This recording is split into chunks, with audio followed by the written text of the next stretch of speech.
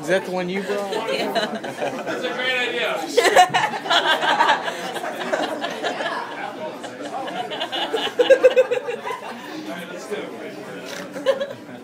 Well, at least I know what I'm going to wear for Halloween, am I right?